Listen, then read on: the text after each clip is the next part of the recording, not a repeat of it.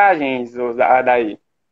Eu consigo, eu consigo sim ver o pessoal, Ah, Mona Lisa, Cristiane Rocha, o Rafael Rafa, Vecílio, ótimo. Então, então tá dando certo. Bem, então é, vamos iniciar aqui nossa, nosso bate-papo, nossa entrevista, né, com o professor Adair.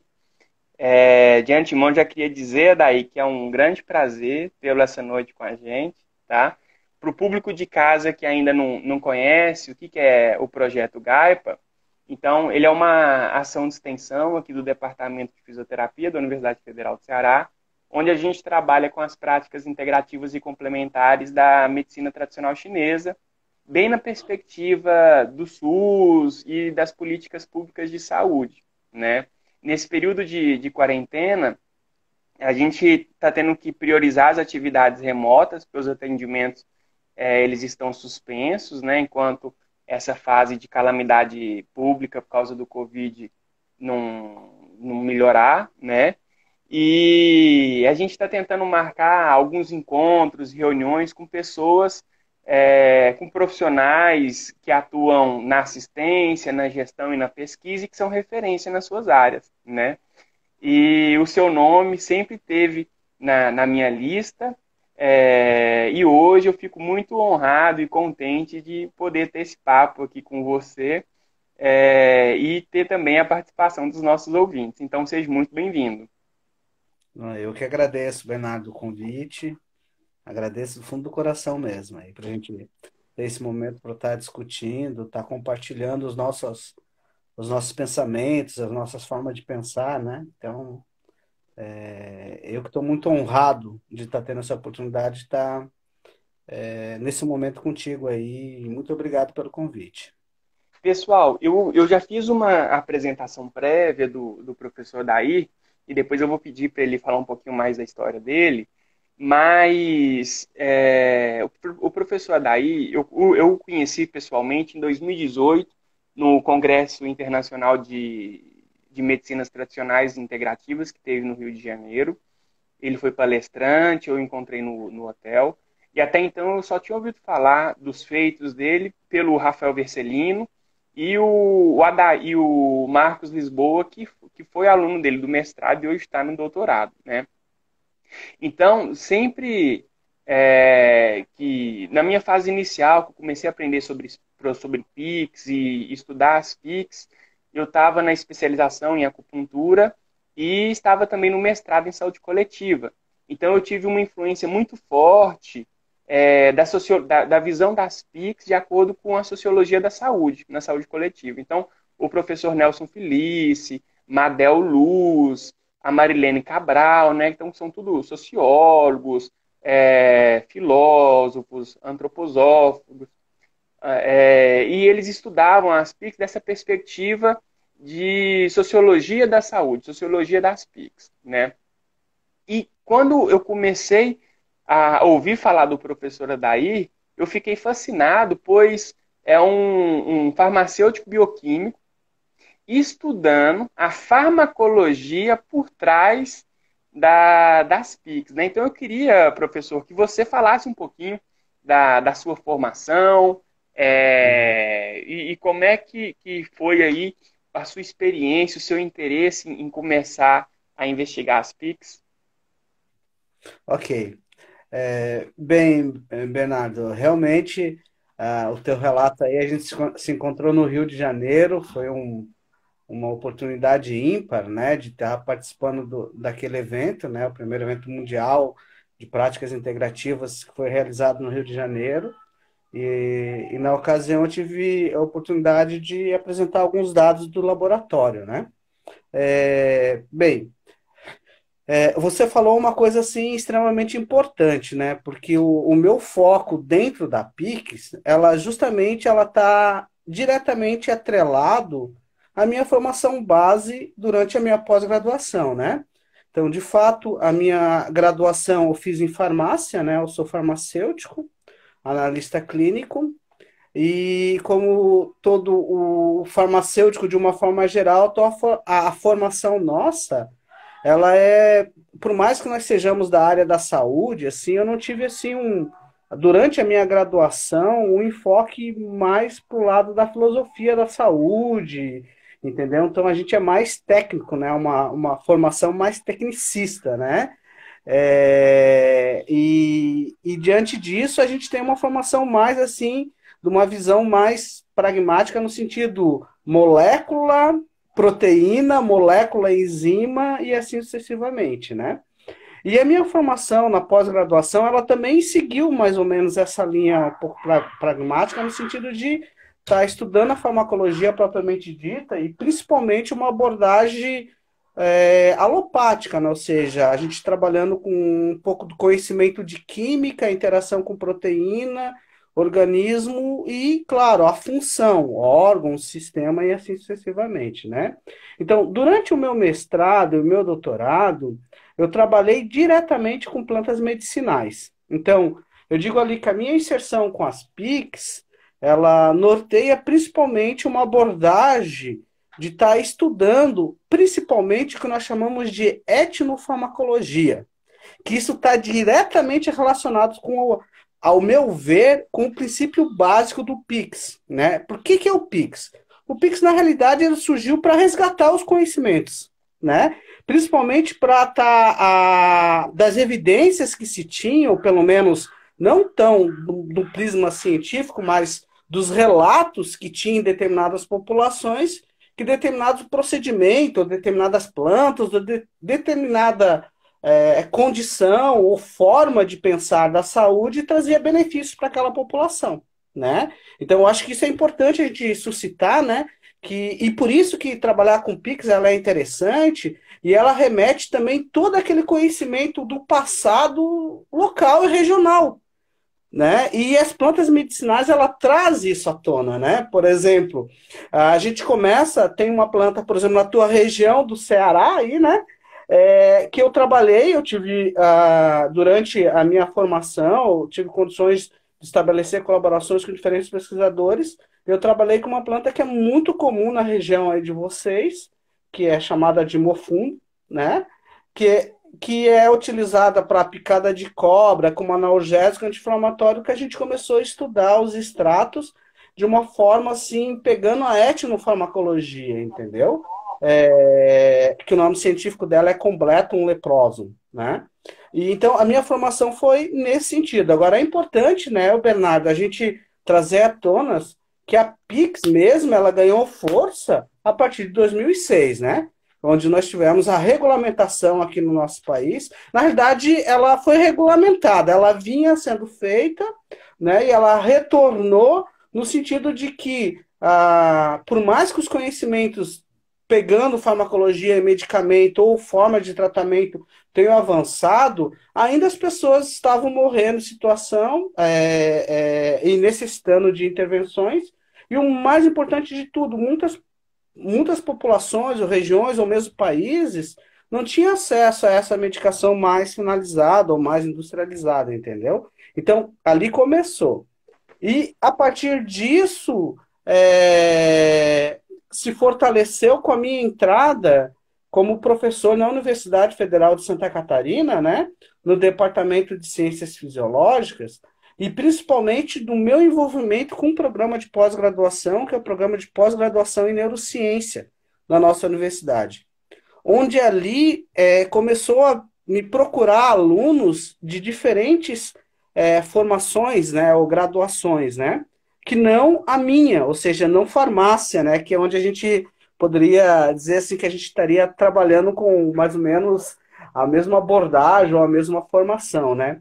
E diante disso eu tive que mudar um pouco a forma de pensar, e nessa mudança de, de pensamento, ou mesmo de, não de linha de pesquisa, mas de conduta para tentar contribuir com a formação dos alunos, eu me permiti abrir, a, a abrir assim um leque de estar tá atuando em diferentes áreas, não da minha formação de domínio, onde eu procurei justamente trazer essa perspectiva do conhecimento da, da biologia, da farmacologia, da bioquímica, da imunologia que a gente tem nas nossas formações, né? E tentar trazer isso com o viés de associar ou ligar com o conhecimento que eu tive ao longo de toda a minha formação, né? E isso foi uma coisa muito legal, por quê? Porque eu comecei a mostrar, quer dizer, o laboratório, eu não, o grupo, o laboratório, os alunos, nós começamos a mostrar que, de uma forma geral, os preceitos, assim, e aí é legal a gente trazer os grandes cientistas e filósofos do passado, né?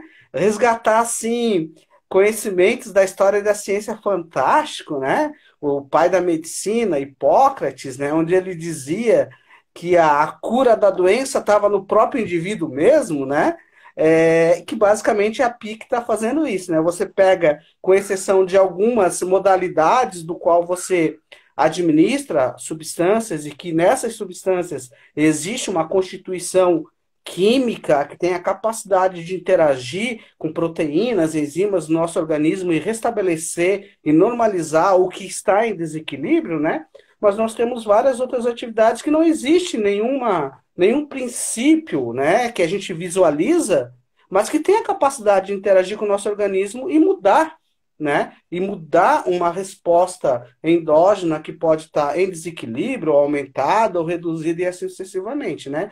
Então, nesse sentido, é interessante a gente mostrar que é o nosso organismo que está respondendo, entendeu? Então, ele pode responder em relação a um estímulo externo, ou ele pode responder em relação a essa, uh, digamos assim, externo, em, em contato com ele, responder por essa interação, entendeu? E professor, Agora que você entrou é, nessa questão de estímulos, eu queria que o uhum. senhor explicasse para a gente é, o que, que é a neurociências e, e, e, e, se, e se, o que, que é essa neurociência da dor, né? O que, que significa esse uhum. conceito? Quais são as uhum. questões que ela, que, ela, que ela tem um olhar, que ela busca respostas? Fala um uhum. pouquinho para a gente sobre isso, pois o senhor teve, teve à frente, né, é, como coordenador do programa de mestrado e doutorado em neurociências aí da Universidade Federal de Santa Catarina, né? E eu queria que você dissesse então para a gente o que, que é essa neurociências e, uhum. e, e, como que isso se aplica à dor. Olha só, eu vou falar de uma forma bem tranquila, né? A neurociência ela é uma, é, ela é uma ciência que estuda o sistema nervoso, né?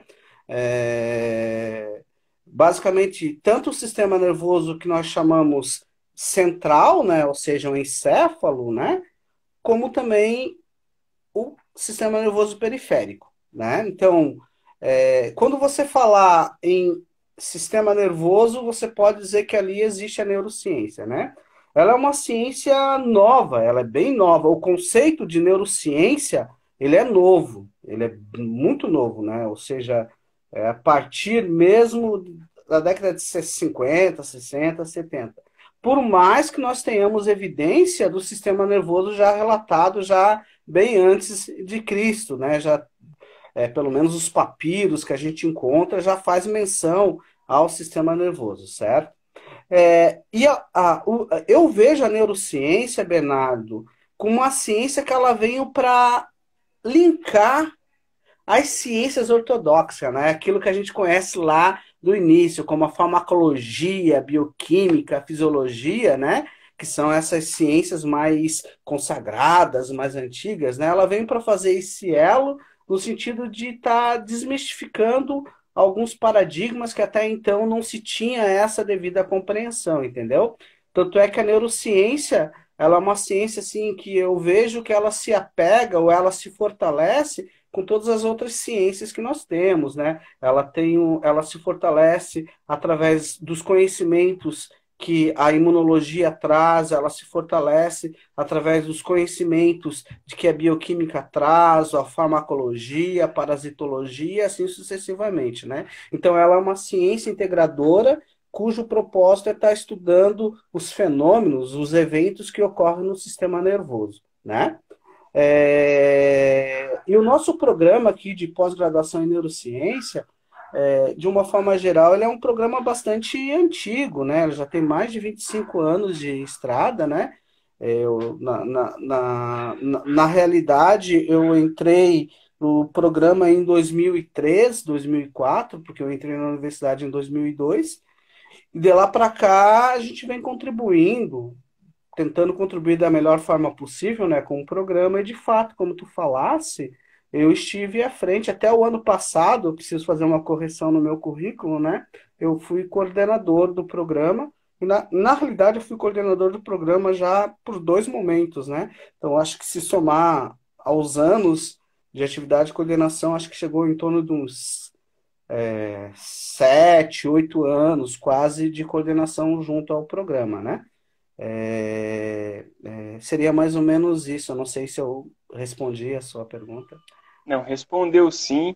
E, e outra coisa que me surpreendeu, porque é, apesar do senhor né, ser baixo de estatura, mas é, é, um, é uma grande pessoa tanto do lado pessoal mesmo, de ser humano, como de pesquisador, né? Então, entrou na universidade em 2002 e em 18 anos é, já são mais de 300 artigos publicados, né? É, um, um, fator H aí, um índice H de, de super elevado, mostrando a relevância das publicações, que elas são citadas, elas servem para a construção do conhecimento, né? E me dá muita alegria de saber que pesquisadores da competência e do nível do senhor se interessam pelas PICs. Né? É, ainda há um preconceito e um certo desentendimento do que, que de qual, o que, que são as PICs e qual que é essa proposta que a OMS, que o Ministério da Saúde e outros sistemas trazem, né? As pessoas às vezes se perguntam, PICs é um mero tratamento, é um mero recurso terapêutico? Será que PIX é uma técnica, é um modelo? O que, que são as PIX, né? E, na verdade, a, as PIX, ela, ela, ela traz uma nova abordagem de, de cuidado de saúde e que ela possui algum, alguns princípios ou características é, que são bem particulares, né? Então, um, a principal característica que o senhor já, já adiantou para a gente é justamente esse resgate de um saber tradicional né, uhum. e de um saber popular. Então, uhum. a gente vê que vários recursos terapêuticos é, utilizados, considerados como uma prática integrativa e complementar, os seus pressupostos teóricos são todos fundamentados em saberes tradicionais. Então, um exemplo é a medicina tradicional chinesa, que tem aí uma sistematização de mais de 2.200 anos, né? Então, em 500 antes de Cristo, é, você já tinha um, tratado de medicina tradicional chinesa, mais de 80 capítulos, né? É, e que hoje ainda você acha acessível para comprar em traduções do chinês para o alemão, para o francês, para o português e tudo mais. É, você tem a medicina ayurvédica, que até hoje é praticada na Índia, você tem universidades de graduação em medicina ayurvédica, como tem também em medicina chinesa, né? Então, é o que Madel Luz é, conceituou como racionalidades médicas, pois possui seis dimensões muito claras, né? Que é uma cosmologia própria, é, uma dinâmica vital que, que é mais ou menos a nossa fisiologia contemporânea, uma morfologia humana, um princípio de diagnóstico, um princípio terapêutico, né? além dessa característica então do saber tradicional e popular, as PICs ela, ela incentiva a questão do autocuidado, né? Então, do paciente ele aprender sobre o seu processo de adoecimento, ele modificar seus hábitos, ele se empoderar desse tratamento para restaurar esse processo de saúde, né? E uma grande característica das PICs é que os recursos utilizados são recursos desprovidos de tecnologia, né? Uhum. É, então você não precisa de materiais caros, você não precisa de uma estrutura para trabalhar com as PICs. É, normalmente utiliza de recursos naturais, então uma planta medicinal, né? Uhum. É, uma prática de exercício, uma um, um, estimulação de pontos no corpo, uso de uma argila, algum outro material que tenha na natureza, né? E ela, eu vejo que ela dialoga muito com esse modelo que hoje está é, tá sendo tão valorizado, que é o modelo biopsicossocial de entendimento da saúde, né? Quando a gente para para ver o que, que é esse conceito é, que hoje a OMS adota e várias profissões da saúde, que é o modelo biopsicossocial, ele tem como princípio a questão da não linearidade é, na, na, na, nas relações entre as dimensões nessa interação. Então, não necessariamente uma causa ela vai gerar um efeito de, de mesma proporção, né? E isso é muito evidente na questão da dor, né? Principalmente uhum. da dor crônica, que é o que agora começa a funilar mais essa, uhum. essa nossa nosso bate-papo aqui, né? E que é a sua área de, uhum. de expertise. Então a gente sabe que o, o, o paciente com dor, dor crônica, ele, ele tem muitas vezes uma questão não só de um acometimento a nível estrutural, biológico, mas sim um comprometimento, seja do sistema nervoso periférico ou central, que acaba modificando sua percepção, a forma como ele lida com a dor e até mesmo o efeito de um tratamento terapêutico. Né? E aí eu queria que o senhor, dentro da ótica da neurociências, dissesse para a gente quais são as principais teorias de modulação da dor é, existentes hoje em dia. Uhum. Olha só, antes de eu entrar nessa sua pergunta, Deixa eu só citar uma outra coisa importante que vem ao encontro do que você falou da essência das PICs, né? É, e uma coisa assim muito importante que hoje se fala muito, até em relação a PICs, né, que é as chamadas evidências científicas, né? Que a evidência científica ela apregoa uma característica extremamente importante que está relacionada ao método científico, né? Então, quando nós falamos evidência científica, uh, atrelado ao método científico, ele traz um, um, a máxima que é o que a gente chama de reprodutibilidade, né? Então, tipo assim, isso é uma coisa muito importante é, quando a gente está falando assim de, é, de ciência, transposição assim até em pesquisa clínica e assim sucessivamente, tá?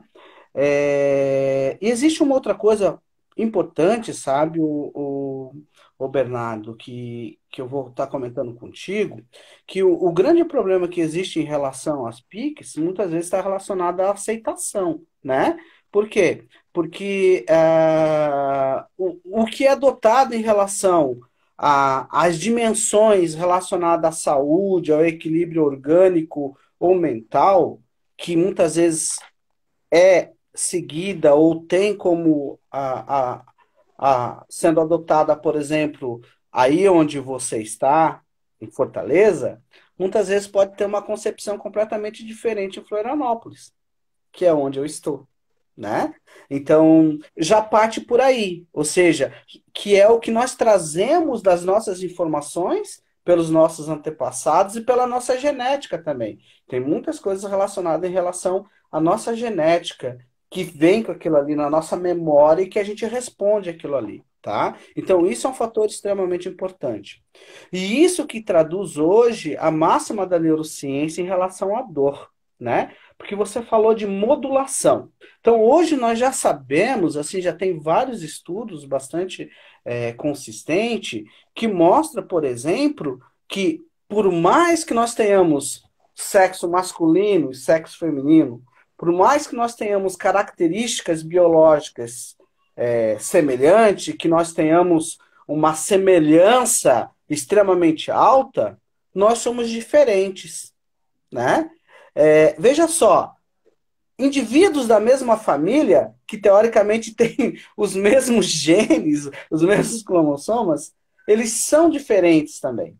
Muitas vezes eles não é, eles não têm uma diferença muito intensa no seu biológico, mas tem diferença muito, muito intensa nas respostas que ele, que ele emana, entendeu? Então, os grandes estudos que nós que nós tivemos em relação, por exemplo, a fundamentar o papel forte da genética atrelado à evolução das doenças, principalmente as doenças que acometem o sistema nervoso central, né?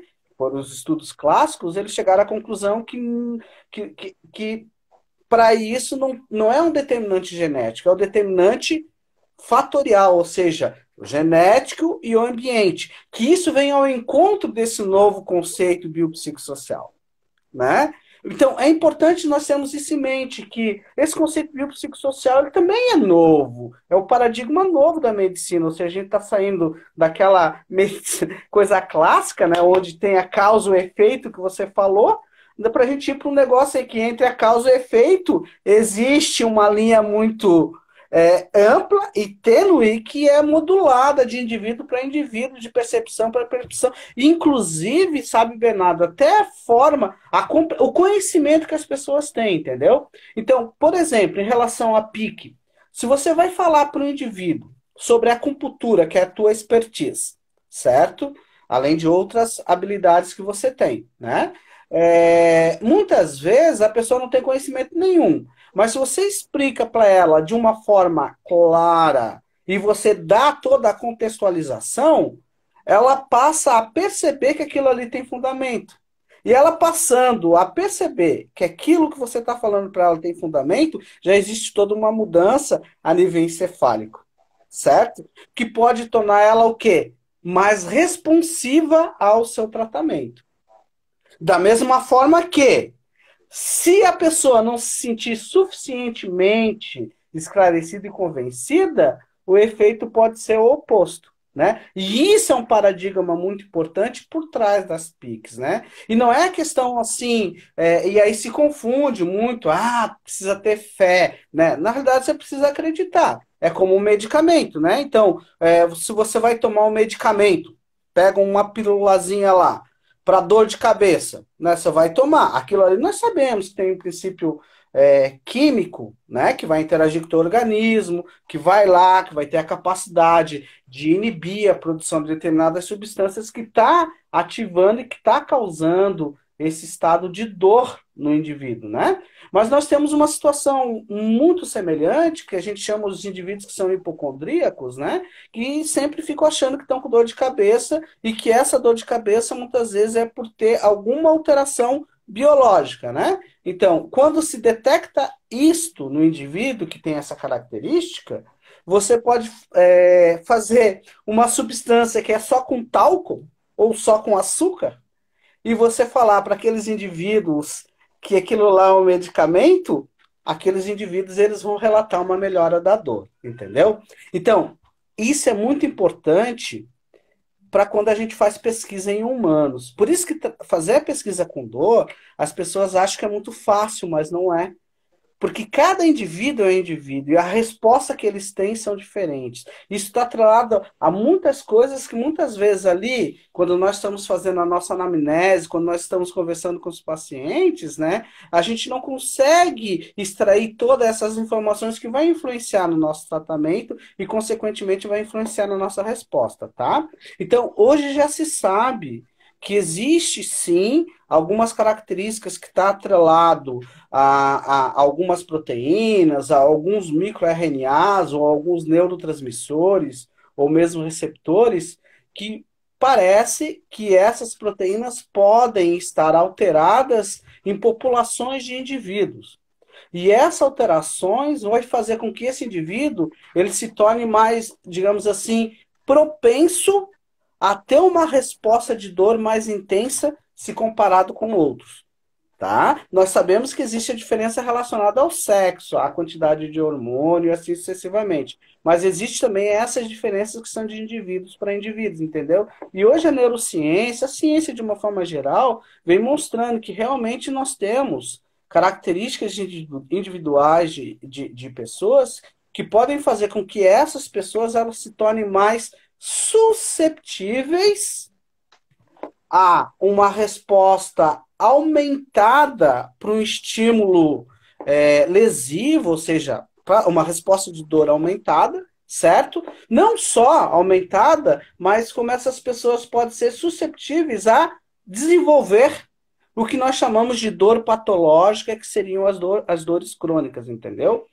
E aí, é uma coisa muito legal, Bernardo, que hoje vem se estudando, que nós sabemos que, por exemplo, a transmissão da dor, ela ocorre da periferia para o sistema nervoso central, certo? Então, existem caminhos que esse estímulo lesivo que sai da periferia vai ser, vai ser transportado ou vai ser transmitido até áreas encefálicas, né? Ou córtex somatosensorial, onde ele vai estar tá identificando e ele vai estar tá dando a qualidade e a intensidade dessa dor.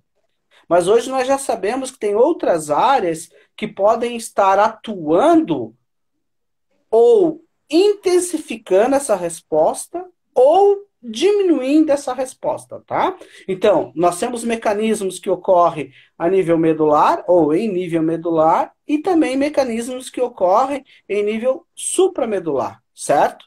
E essas áreas, elas estão relacionadas principalmente com é, uma parte que é extremamente importante na dor, que está relacionada com as emoções entendeu? Então, por isso que quando nós vamos para o conceito de dor, ela é resultante de uma resposta fisiológica e, né, ou seja, uma resposta que está relacionada com o sistema fisiológico, mas também ela depende de uma resposta da emocionalidade do indivíduo.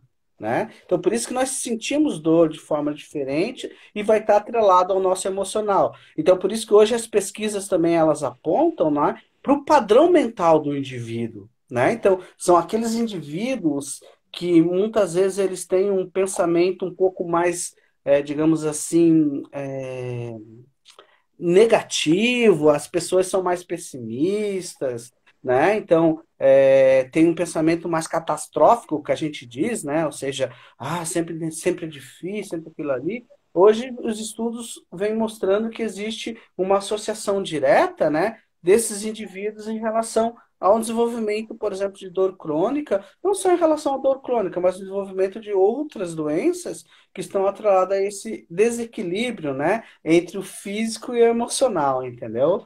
É, então, hoje a gente precisa ter claro isso, é, essa combinação, e a gente precisa ter claro que hoje em dia o ambiente é um fator extremamente importante, né? Então, tipo assim, veja só, eu falei de característica biológica, certo?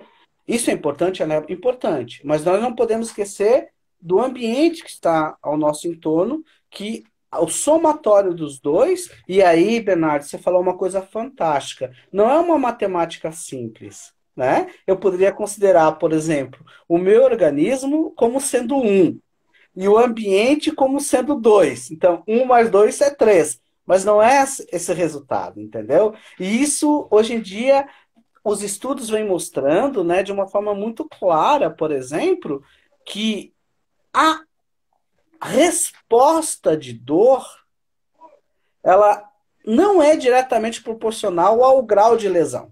Uhum. Certo? Isso é uma coisa extremamente importante, por quê? Porque vai ao encontro desse conceito biopsicossocial e não ao encontro do conceito anterior, né, da causa e efeito, né? Porque geralmente você diz assim, ó, tá doendo é porque tem uma lesão. Certo? E daí, é, a neurociência hoje, não só a neurociência, mas a forma geral, ela não desconsidera esse aspecto, entendeu? Ela vem fortalecendo de que você pode sim ter dor sem que ocorra alguma lesão somática, alguma lesão que seja identificado, entendeu? E você não pode negligenciar isso, você não pode, né? E existem vários fatores que estão tá por trás dessa indução e que precisam ser trabalhados. E aí é um conhecimento extremamente importante que nós, enquanto profissionais, devemos ter, né? Para a gente poder fazer uma boa atenção ao nosso paciente. Não sei se e, professor, sim, com certeza. E pegando um gancho na sua fala, eu não sei se eu tenho uma impressão errada, mas eu vejo que, apesar da neurociência ser relativamente nova, ela está dando um, uma força e um impulsionamento no modelo biopsicossocial, principalmente na área de compreensão de dor crônica, muito grande, né? É, apesar desse modelo biopsicossocial ele trazer o, o, pressuposto que a saúde ela é contexto específico, contexto dependente, né? É, que foi cunhada aí com o índio na década de 70, mas as racionalidades médicas, como a medicina tradicional chinesa, desde 3 mil anos antes de Cristo, Sim. isso está escrito em livro, né? Você consegue hoje, aí pela Amazon, comprar aí o, o Neidin, que é o tratado do Imperador Amarelo, e ele já vai dizer que é, um processo de dor ele vai ser decorrente de alguma influência emocional do indivíduo, né, que são aí a, os fatores in, internos da dor, ou então um fator ambiental relacionado com a energia do clima, né, como frio, calor, secura, Sim. umidade, né, e, e, isso tudo desequilibrando o processo de energia, que é o que a gente chama de, de homeostase, né, o equilíbrio energético. E aí, o senhor, o senhor já disse para a gente algumas teorias de modulação da dor e Sim. onde que, que, que, em quais níveis né, do sistema nervoso periférico ao central que isso pode acontecer. E uhum. o interessante é que com essa mudança de modelo, de paradigma, né, de visão de mundo, a gente vê também uma mudança na prática profissional, né, e também na, na, nas perguntas de pesquisa.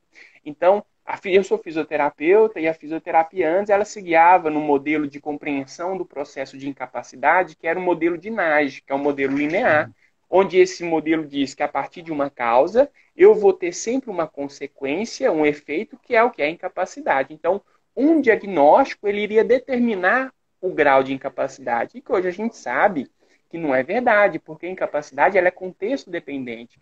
Eu tenho uhum. pacientes com artrose de joelho que vão ter diferentes níveis de incapacidade. Eu vou ter um paciente lesado medular que ele vai ter diferentes níveis de incapacidade. Uhum. Eu tenho um paciente com lesado medular no mesmo nível, que pode ser é, um paciente acamado, né? De acordo uhum. com o que ele tem de motivação na vida, e um paciente também com lesão medular no mesmo nível.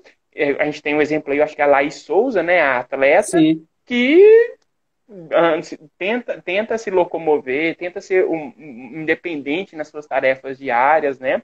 E na dor, o senhor já disse, é, já disse aí esse fenômeno que, que ele, ele, ele é muito presente no nosso paciente, né? A Sim. forma como o, o, o paciente ele enxerga a sua dor, o seu processo de vida, a sua aceitação, a sua resiliência, ela vai determinar o seu grau também de incapacidade e como lidar com essa dor, né? Então, o senhor que é um farmacêutico bioquímico, que eu imagino que na época do mestrado deve ter é, recebido uma carga de formação muito intensa nessa visão mais mecanicista, linear, com tratamento de dor através de fármacos, através de cirurgia, né?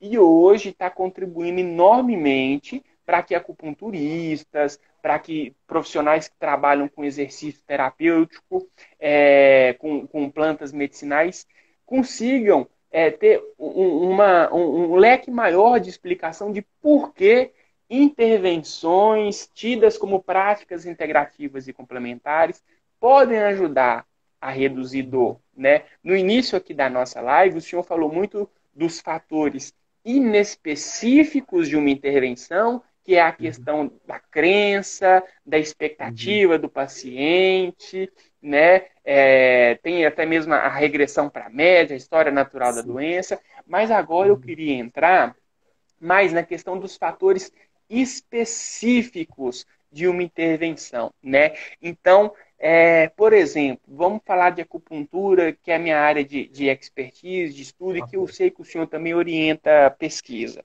Professor, em, na população com dor crônica, o que, que a gente já tem é, de mecanismo fisiológico da acupuntura que está uhum. bem elucidado e o que ainda precisa de mais pesquisa? Por que, que a acupuntura ela, é, ela, ela tem um efeito sobre o paciente com dor crônica?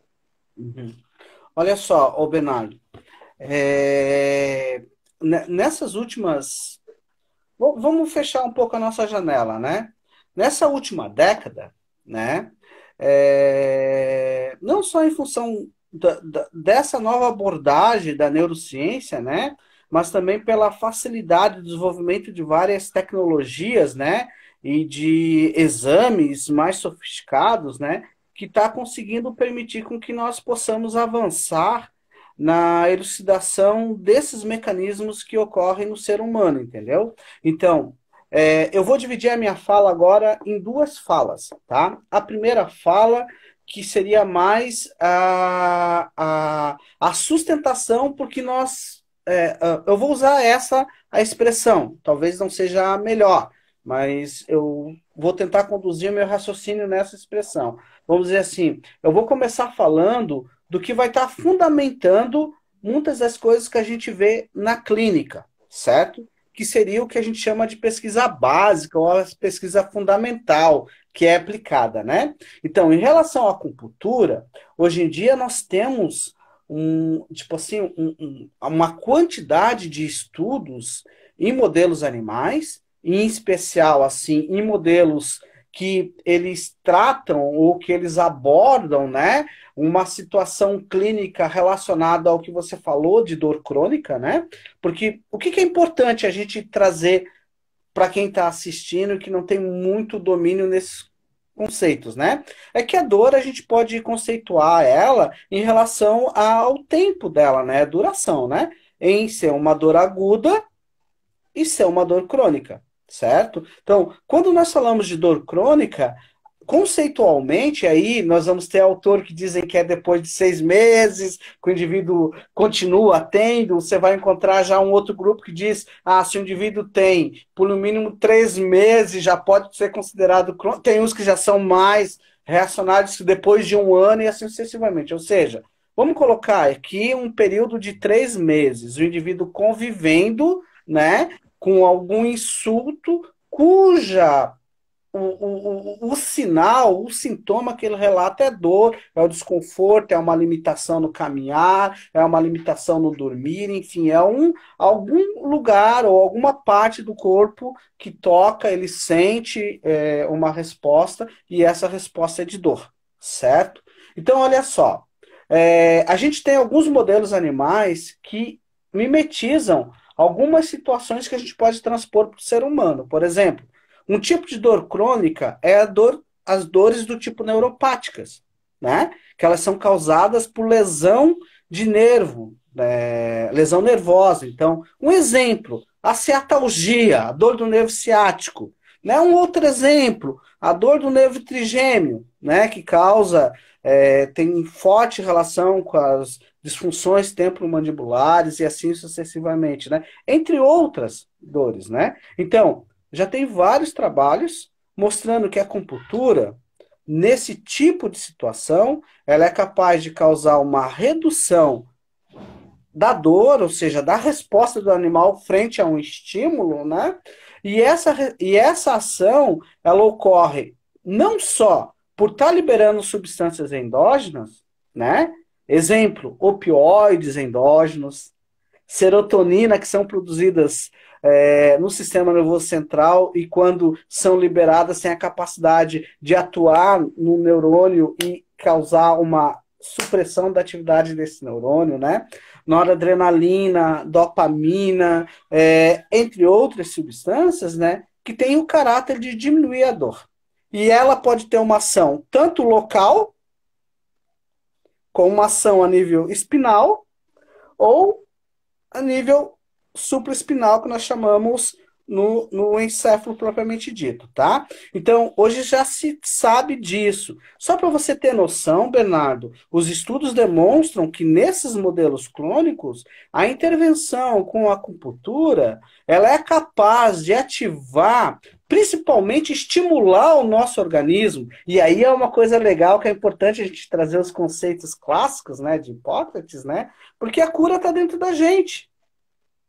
Né? É, então, é, é, se eu tiver noção disso, se eu tiver noção de que existe um problema e que se eu tenho condições de resolver, de resolver esse problema, beleza, mas se eu não tenho condições de resolver, eu, eu vou fazer o quê? Né? Não ficar intensificando, que é o que muitas vezes acontece, seguramente a gente teria, seguramente a gente viveria melhor e menos triste e com menos alterações emocionais que levam com que a, ocorra outros desequilíbrios orgânicos, né? Então, ela tem a capacidade, inclusive, a acupuntura, de estar tá liberando umas substâncias que têm uma ação semelhante ao que nós chamamos THC, ou que são os endocannabinoides, entendeu? Então, tudo isso os estudos eles demonstraram ao longo desse, dessas últimas décadas, né? E vem mostrando, ou seja, a acupuntura não é só uma inserção da agulha, no acuponto que você é, é um doutor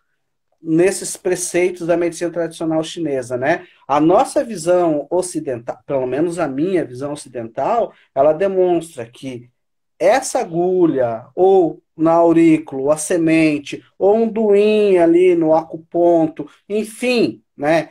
Qualquer estímulo, quer seja químico ou físico, né? Calor também, moxa, tal, vai estar tá ativando uma estrutura que essa estrutura é capaz de liberar substância e essa substância é capaz de exercer vários efeitos que nós chamamos fisiológicos ou neurofisiológicos, entendeu? E daí causar essa analgesia. E agora, uma coisa importante, ô Bernardo, que isso a ciência vem demonstrando. Tem indivíduos que têm a capacidade, de, digamos assim, de produzir mais dessas substâncias em detrimento de outros. E aí que está o X da questão. Por isso que muitas vezes acupuntura ou qualquer outra prática terapêutica, né, ela pode ser muito efetiva no indivíduo e ser menos efetiva em outros indivíduos. Isso é uma coisa. A outra coisa também, Bernardo, que vem se mostrando é que hoje, em função da acupuntura, ela liberar essas substâncias endógenas, ela também é capaz de estimular a célula não só a produzir essas substâncias que eu falei, mas de produzir substâncias que têm a capacidade de alterar né, a, a maquinaria é, é, de produção de outras substâncias por uma célula, entendeu? Ou seja, de mudar a replicação de proteína ou a produção de proteína, de estar atuando lá no núcleo da célula, no DNA, e mudar esse. Nível genético. Isso. É, eu não digo bem a nível genético, entendeu? Epigenético. Seria Epigenético. essa mudada. Epigenética, entendeu? Então, mudando o fenótipo da célula, tá? Então, nós temos um trabalho que até eu vou disponibilizar depois na live, o, o artigo. Vou fazer um pouco dessa é, divulgação científica que você faz muito bem, te parabenizo por isso, né? Que a, foi de uma aluna de doutorado minha, que hoje eu tenho a grata satisfação de falar que ela é professora junto comigo, nós dividimos sala aqui no nosso departamento, que é a Morgana, né? É, que ela demonstrou que a acupuntura, né, com agulha no baço pâncreas 6, né, é capaz de diminuir uma dor muscular em modelo animal, né? Então, é sempre bom a gente frisar, mas a acupuntura ela reduz dor muscular em humanos também. Então, o que, que a gente mostrou nesse modelo animal? Que ela foi capaz de mudar, por exemplo, a quantidade de célula inflamatória no músculo lesionado.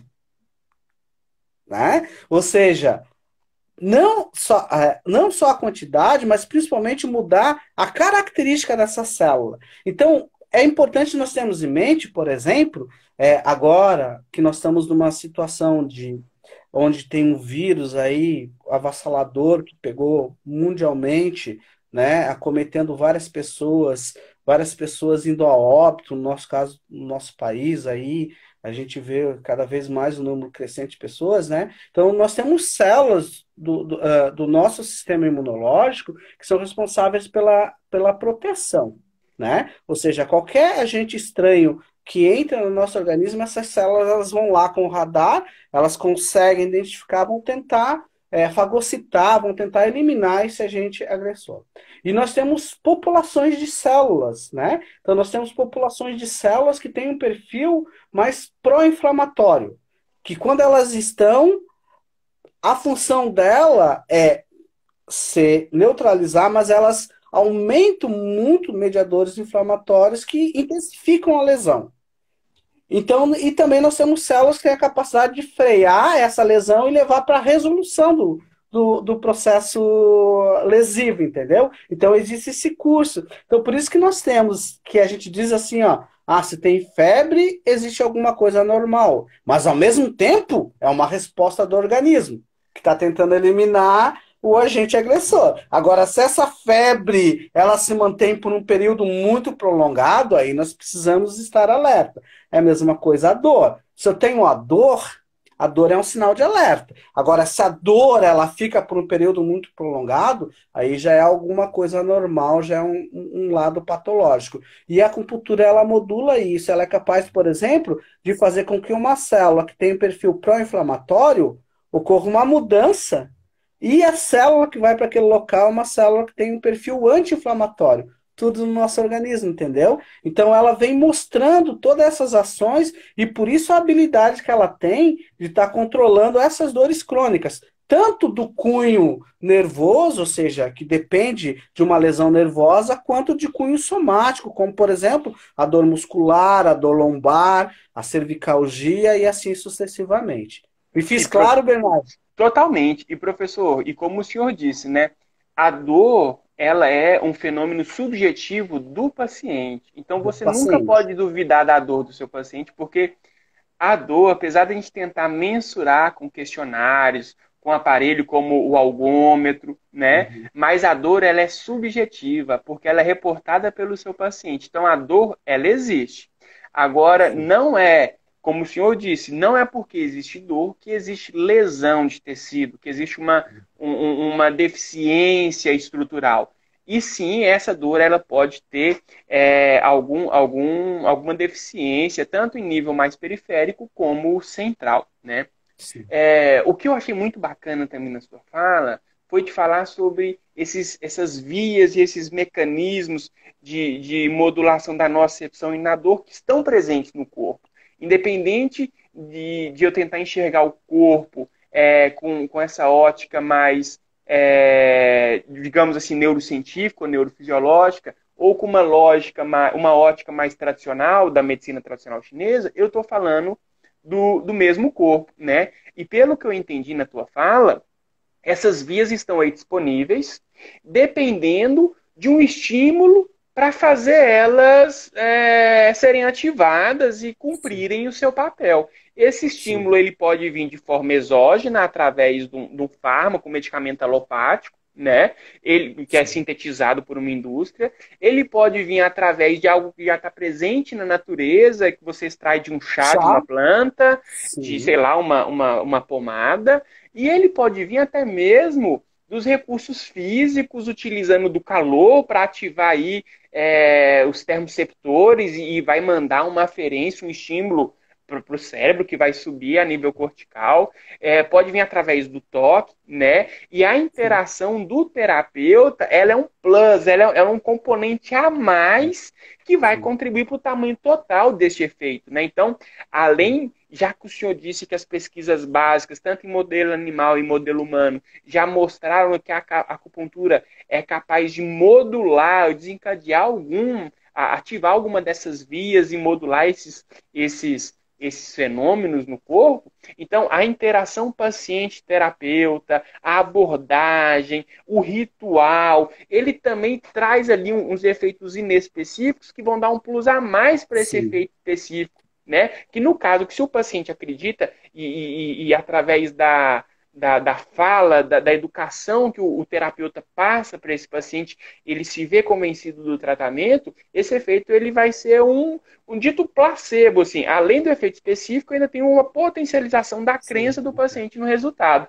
Aí agora, professor, como a gente precisa, daqui a pouco a, o Instagram corta a nossa live, vamos tentar responder algumas perguntas, tá? A primeira pergunta é da colega é, Evanilce, que ela pergunta assim: Adair, a neurociência criará um novo olhar sobre as PICs? Eu acho que na nossa fala já mostrou que, que sim, né? Tá dando um, novas explicações, né? Sim. Qual que é a sua opinião, professor? É, é, eu acho que na realidade é, ela vai estar tá contribuindo para uma maior adesão. Eu acredito nisso, uma maior adesão, né? Por quê? Porque vamos, por exemplo, usar a própria acupuntura, né, Bernardo, que é o teu, o teu métier, o teu conhecimento, né? Então veja só, tu mesmo sabe que ela é milenar, né? É, veio para o Ocidente já, já faz algum tempo, no nosso país também, né? É, mas ainda tem pessoas que não acreditam na acupuntura. Como tem ah. pessoas que acreditam na cloroquina. É, é, é uma questão boa, de crença, né? Boa, boa, boa, entendeu? Então não acredita. Então, então não adianta você querer convencer ela, entendeu? O que, que vai acontecer? Eu acho que é aí que vem, quando eu vejo assim evidência científica, ela vem nesse sentido de você trazer um método científico que é um método consagrado dentro de um rigor metodológico que, inclusive, as críticas em relação à cloroquina estão justamente nisso. Ou seja, nós precisamos ter um rigor metodológico. Um estudo controlado, de preferência um estudo randomizado, cegado, onde daí você vai tentar tirar o máximo os viés possíveis, que pode estar atrelado na magnitude do efeito do indivíduo, entendeu? Então tem vários estudos que demonstram, por exemplo, que a acupuntura feita por um chinês é mais efetiva do que se feito por um por mim, por exemplo, que não sou Sim, um ocidental. não sou acupunturista, né? Então tem estudo mostrando isso, que é o que você falou, que é o caráter da subjetividade do indivíduo, da emocionalidade do indivíduo. Isso está atrelado a cada um, entendeu? Então, é, isso é uma coisa importante. É, agora, o Fábio, o Fábio Ataíde, lá de Curitiba, Sim. Ele, ele pergunta um abraço, o seguinte, é, qual seria a melhor forma de explicar e conscientizar o paciente sobre a, aquela questão de ele ter dor não necessariamente é, significa que ele tem uma lesão tecidual, né, estrutural. É, pois para o paciente leigo é confortável associar dor à lesão e muitas vezes ao colocar é, eles colocam passíveis frente ao tratamento. Então, qual que é a melhor forma, da perspectiva da neurociência, para tentar fazer essa, essa ressignificação do, do processo para o paciente? Olha, é, é, essa pergunta do Fábio ela é um pouco complicada da gente responder, né? Porque isso está muito atrelado à percepção do indivíduo que está relatando, né? Então, porque hoje em dia é, o que a gente pelo menos ouve, né? É, das pessoas falando é quando elas vão procurar é porque realmente elas estão com dor e elas acreditam, né? Elas para elas existe alguma anormalidade, né? E quando você vai, por exemplo, faz uma ressonância, faz um raio-x e não aparece nada, é, é, é, eu acho que aí você tem que usar um pouco da psicologia e tentar explicar para as pessoas essa nova percepção, entendeu? Que não é que, que, que, tipo assim, que necessariamente o que ela está sentindo não é porque tenha que ter uma lesão ou coisa parecida, entendeu? E, e usar exemplos, é, exemplos que a gente vê, é, situação onde há um sistema de alerta ativado, a pessoa muitas vezes é, sofre um acidente. É, eu já vi vários na guerra. É, é bom trazer essas coisas para explicar, porque talvez as pessoas comecem a entender de uma forma melhor, né? Tipo assim, que perdem o braço, mas em função daquele momento do sistema nervoso tá ativado, não tem a percepção, vai perceber depois, entendeu? Então, esses exemplos eu acho que podem ajudar um pouco a pessoa a entender e o mais importante de tudo. Professor não vai é encerrar, encerrar, em 20 segundos. Ah. Ah, tá. Não é só entender, é mudar a forma de pensar para poder reagir de uma forma positiva.